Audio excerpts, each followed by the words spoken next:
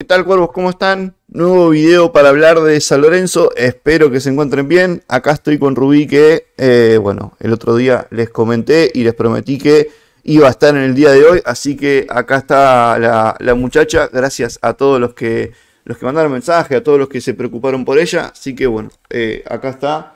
Mejor. Eh, mejorando que tuvo, para los que no saben, un agarrón con eh, otra, con otra perrita y bueno, eh, nada, le, terminamos ahí bastante preocupados, así que nada, ya, ya está, por suerte, ya está todo más que bien. Así que nada, les pido amigos si se suscriben al canal, es totalmente gratis, si le dan un me gusta a este video que me ayuda, me ayuda mucho a seguir haciendo el contenido que hago.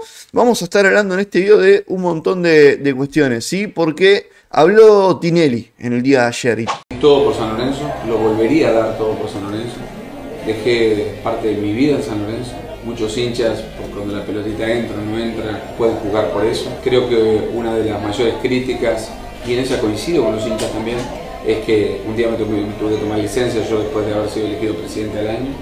Y, y, porque me lo pidió también el canal donde yo trabajaba. Y lo entiendo que el hincha puede estar molesto por eso, pero jamás, jamás, jamás podrían hablar de vaciamiento, eso se tiene que limpiar la boca realmente, porque si hay alguien que ha colaborado, que ha puesto dinero, que ha puesto tiempo, esfuerzo, sacrificio, en todo he sido yo y lo volvería a hacer. Y creo que los mejores momentos de San Lorenzo, después de la época de, de Abdo, donde entramos con un, paro y, y gomas quemadas en la puerta, donde no teníamos personas. Tenemos que hablar de Marcelo Tinelli porque la verdad que termina siendo lo que dice totalmente escandaloso, ¿sí? Porque acá el problema, y me lo anoté bien fuerte, eh, que nosotros podíamos quejarnos por el tema de la licencia, pero antes de hablar de vaciamiento, nos teníamos que lavar la boca. Bueno, a ver, me voy a lavar la boca, un segundito.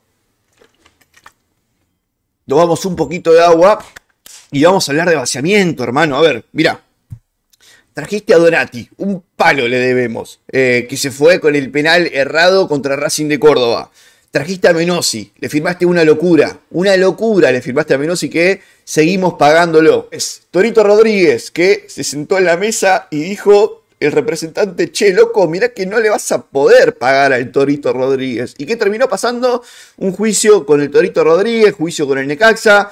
Supuestamente nos tiraban a nosotros los youtubers porque decían que no, pero lo de las redes sociales y los tuiteros, ¿no? No, porque las redes sociales no saben nada, ustedes no saben lo que es el Torito Rodríguez, Mariano Soso lo terminó pidiendo, lo quiere tener. Este, así que por eso lo vamos a comprar. Bueno, esa era la justificación en la era Tirelli para comprar al Torito Rodríguez. Bueno, terminaste el juicio con el Tijuana de México y terminaste el juicio con el jugador que terminamos inhibidos, que es peor. Después, después, Pitón, los dos Pitón, hermano, terminamos ahora con el quilombo con la aseguradora, que esto se los comenté, se los comenté yo, que me comentaban de Unión, que eh, Unión ya cobró la plata, pero ahora van a venir contra nosotros. ¿sí? Esto se los había comentado hace, hace algún tiempo eh, y son alrededor de dos palos, si no me equivoco, puede ser un poco menos y, que me esté equivocando, pero creo que incluso era por ahí la cifra. Así que por Mauro Pitón y Bruno Pitón, que después desconocemos qué pasó con la venta de, Mauro Pitón, que se lo vendimos a Vélez por suerte, eh, también otro de los fracasos rotundos. Después...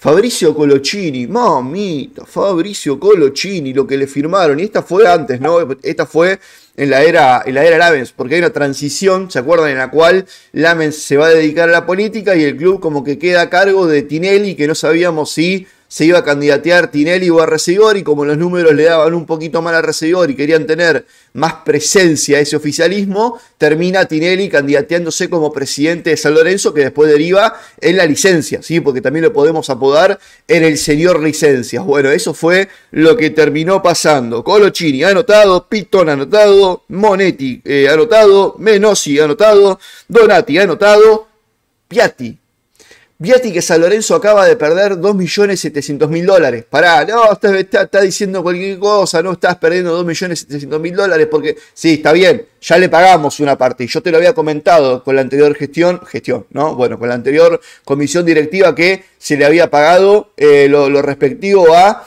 eh, las cuotas que eh, eran la cláusula de rescisión de Piatti, que eran 850 mil dólares. Bueno, finalmente San Lorenzo terminó perdiendo por Piatti 2.700.000 dólares y no va a apelar el fallo, es lo que va a perder, así que hagan la diferencia más o menos, 2.700.000 dólares menos un palo, un palo 700, un palo 600 es lo que San Lorenzo termine debiendo. Y después, y después, porque decís que lo más importante es el tomarse licencia. Lo peor, Marcelito, que existió en tu gestión, eh, que bueno, a mí me tiene bloqueado en Twitter, Marcelo Tinelli. Yo la verdad que no dije absolutamente nada contra, contra él, solamente fui a la marcha del 23 de marzo de 2022 y después cuando volví, volví bloqueado. Bueno, cosas de la vida, ¿no? Uno a veces vuelve y vuelve bloqueado por ciertos personajes. Fue el tema de AFA, porque vos en tu aventura para tratar de ganar la AFA al terminar perdiendo, yo creo y opino que San Lorenzo terminó perjudicado de una manera notoria. Entonces, lavarse la boca antes de hablar de vaciamiento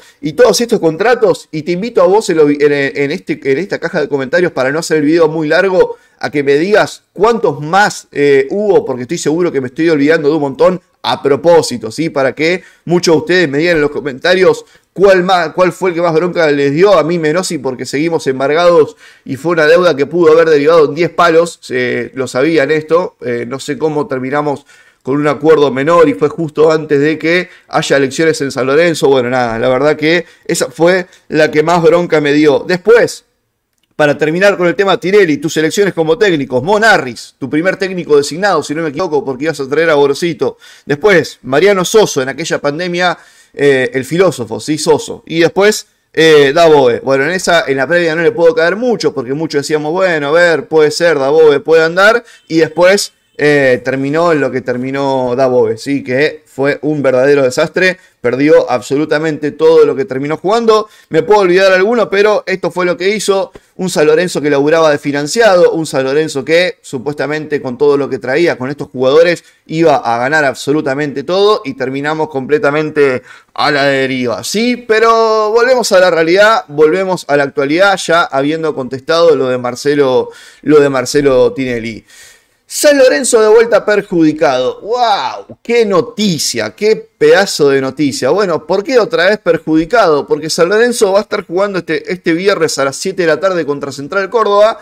Y los muchachitos de AFA, en esta seguidilla que venimos, ¿sí? este, como si fuera poco la cantidad de lesionados que tenemos, eh, terminaron, terminaron designando a Echavarría. ¿sí? Mamita querida, Echavarría. Y vos me vas a decir, bueno, pero con Echavarría venimos bien. Sí, repasá, andá y repasá los números. Bueno, vamos a repasar los números con eh, Echavarría. Perdón, me pongo acá a leer. 18 veces nos dirigió, 7 victorias, 6 empates y 5 derrotas. También me a decir, ningún árbitro te viene bien y en parte te voy a decir, tenés razón, pero esto es alevoso. Sí, esto es completamente alevoso. Echavarría fue el mismo que nos bombió en el partido contra Boca, hermano. Fue el mismo que nos durmió en el partido contra Boca que San Lorenzo terminó eh, el primer tiempo con un penal que no terminó cobrando de Bray sobre Hombre, más claro que el agua. Y si te ibas al primer tiempo 2 a 0, y ya era otra la historia. Y alguno va a decir, no, seguí llorando eso. Y la verdad que tres puntos ahora, bienvenido sea. Pero recontra bienvenido sea. Bueno, eh, San Lorenzo termina perdiendo ese partido 3 eh, a 2, le habían dado el, primer penal, eh, así que eh, otra vez yo creo que notoriamente perjudicado San Lorenzo, ¿sí? Pensando en lo que se viene, porque la verdad que no, no, me gusta lo poco que se está entrenando fútbol, que creo que es lo que más le viene costando a San Lorenzo, porque la verdad que la página oficial del club termina informando que San Lorenzo, bueno, está entrenando 35 eh, minutos de fútbol. Me gustaría que haya un poco más de fútbol para que se termine notando eh, después. Decía ejercicios de, fuerza en el gimnasio, activación técnica de carrera de velocidad, circuito de pase, juego de transición, 35 minutos de fútbol. Bueno, por eso, todo lo que digamos ahora, todo lo que digamos ahora creo que no tiene sustento. Si no, no podemos decir que hay un equipo confirmado. Sí podemos decir que hay algunos nombres que pueden llegar a entrar al 11 titular. ¿sí? Yo estoy grabando este video 12.45 de, del mediodía. Así que San Lorenzo iría con eh, el Chila Gómez, que creo que ya va a estar recuperado para este partido. Si alguno me pregunta información por el Chila Gómez, yo no creo que siga en San Lorenzo.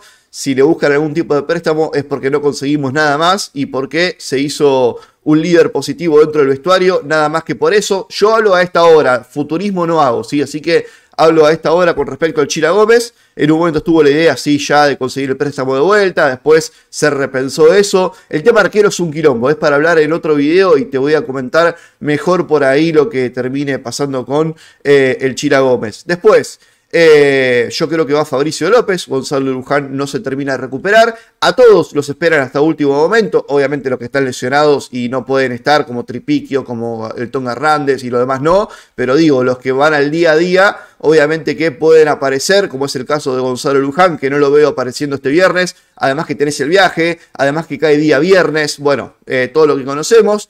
Romaria junto con Campi. Mamita querida, ¿cuándo será el día que lo veamos a Campi? Sí, el día va a ser el día que vuelva el Tonga Hernández, que va a ser el día más feliz de mi vida. Dicho sea de paso, voy a estar sorteando dos plateas, ¿sí? Para el partido que, que, se le viene a San Lorenzo, ¿sí? Así que tienen que estar suscriptos al canal. No dejen el DNI ahora, en los últimos tres números. Eh, pero contra Estudiantes de La Plata voy a estar sorteando dos plateas y contra Racing también por una donación que le hicieron al canal. Así que solamente déjenme eh, abajo en los comentarios. No, no, voy a, no voy a sortearlos en el día de hoy, pero si tienen ganas o no tienen ganas de que sortee las dos plateas. Sí, ya hemos sorteado camisetas. Toby la ganó, la ganó Ezequiel, la ganaron un montón, así que me pone feliz que otros cuervos tengan la camiseta de San Lorenzo y que la puedan utilizar.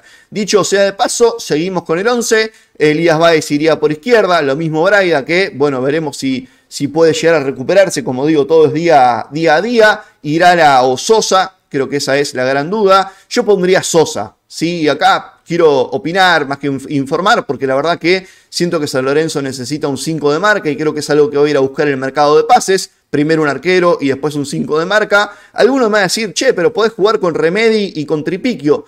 Remedy no es 5 de marca. Algunos me van a decir, sí, es 5 de marca. Remedy es un 5 más de juego, ¿sí? Y después tiene cosas de marcas y ayuda y todo lo demás. Sí, eso sí, pero es un 5 que es por ahí más de juego no el único, ¿sí? Todo tiene que girar, y eso lo hablaba ayer con un amigo cuervo. Este, dicho sea de paso, gracias a todos eh, estas últimas horas por el apoyo con eh, lo que me viene pasando con mi familiar. Este, bueno, justamente hablaba con un amigo cuervo y en esta conversación que, que hablábamos de esto, después nos pusimos a hablar de San Lorenzo, porque siempre sale el tema San Lorenzo. Y eh, bueno, claramente coincidimos todos en que necesitamos un 5 de marca. Y bueno, veremos eh, qué es lo que puede llegar. Este, pero Tripiquio tampoco 5 de marca y llegó para jugar de 4. Porque San Lorenzo hasta Arias eh, en aquel momento y Luján no tenía 4. Ahora está jugando Fabricio López, que es el cuarto número 4. Porque llegó Tripiquio para jugar de 4. Arias. Gonzalo Luján y el cuarto sería Fabricio López. Bueno, después fue eh, configurando un poco mejor, Tripiquio jugando en la mitad de la cancha, jugando muy bien, etc. Eh, arriba, eh, Muñain, yo creo que va a repetir con lo mismo. Por ahora, Bustos, es una fija Bustos en este esquema de Miguel. Ceruti o Reali, veremos quién gana la, la, pulseada, aunque últimamente también viene entrando Leguizamón, pero Leguizamón y Barrios entiendo que son más jugadores para Miguel de, segundo tiempo y Cuello de número 9, que dicho sea de paso, qué difícil que es meterle un gol de cabeza a Cuello, ¿no? Porque ayer River, saludito a Vareiro y a Tony, tiró 35 centros y no metió ni uno, nosotros tiramos dos o tres, no, fueron más, pero cabeció Cuello y fue gol, pero bueno, cosas del fútbol, así que... Así está la actualidad de San Lorenzo, esto lo de Tinelli, esto es el peligro en AFA y esto también es el 11 que San Lorenzo puede disponer el día viernes a las 7 de la tarde. Si te gustó este video dale me gusta, suscríbete que es totalmente gratis y nos vemos en un próximo video.